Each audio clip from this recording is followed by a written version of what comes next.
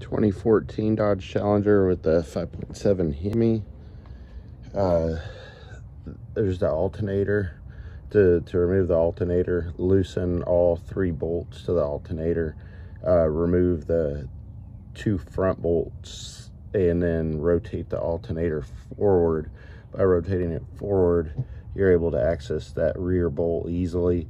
And then there's a third the bar the black bar that's going into the back has a 13 millimeter nut on it and, and the other bolts are 15 millimeter.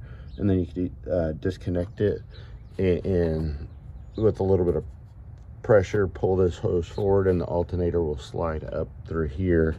And that is how you remove the of 5.7 Hemi on a 2014 Dodge Challenger RT.